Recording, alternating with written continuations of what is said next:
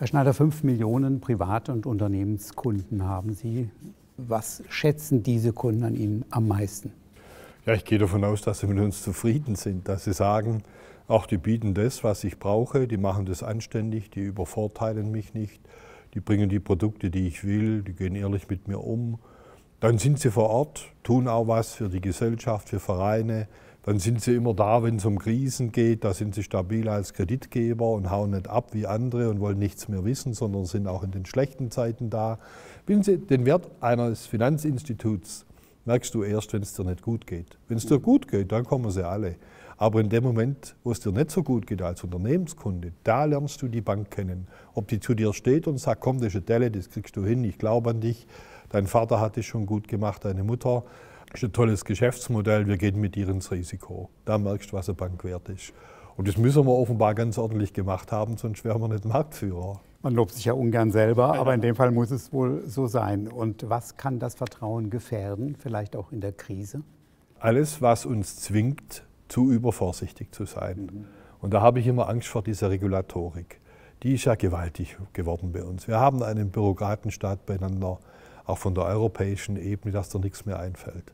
Wenn du jetzt da als Kunde kommst, auf der Anlageseite, dann wirst du beraten, zwangsberaten wie ein Verrückter.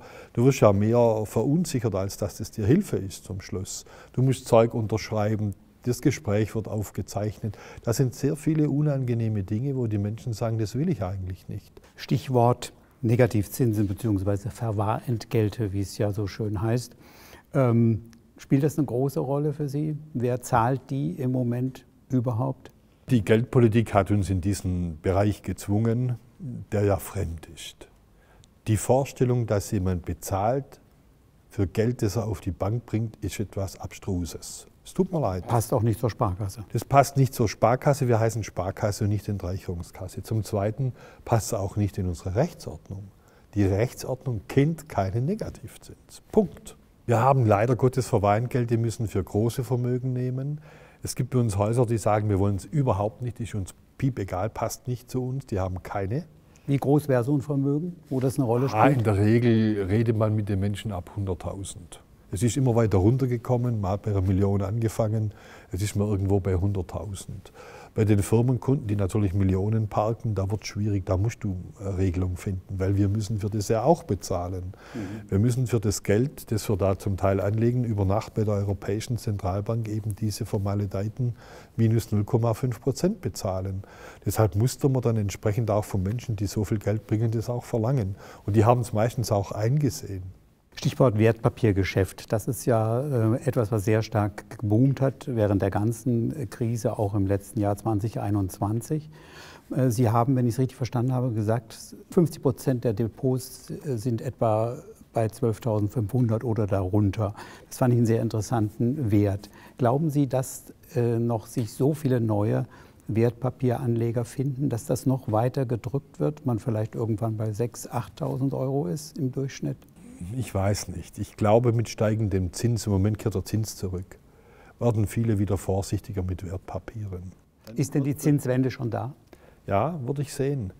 Äh, Im Moment ist ja so, die Inflation marschiert. Inflation kommt dann, wenn man in Inflation glaubt. Und das tun die Menschen mittlerweile. Dann kommt sie, weil jeder drauf sitzt. Ob das die Europäische Zentralbank wahrnehmen will oder nicht, völlig egal. Angenommen, 2021 wäre kein Pandemienjahr gewesen. Also 2020 haben ja alle geübt, wie geht das mit Pandemie? Und äh, da gab es trotzdem eine ganz ordentliche Jahrespressekonferenz. Was wäre am ehesten anders gewesen? Ich glaube, dass wir vielleicht dann noch mehr wirtschaftliche Belebung gesehen hätten. Das heißt, äh, die Menschen hätten mehr ausgegeben, sie hätten wieder Kleider gekauft, sie wären wieder raus, sie hätten wieder Urlaub gemacht. Das war jetzt schon ein Dämpfer. Also ich sage mal, drittes Quartal und viertes Quartal waren richtig dämpfend. Und damit nachfrageseitig gedämpft in der Wirtschaft und damit Investitionen und natürlich auch die Kredite. Äh, es ist aber trotzdem noch gut gelaufen, 21. Ich will mich nicht beklagen.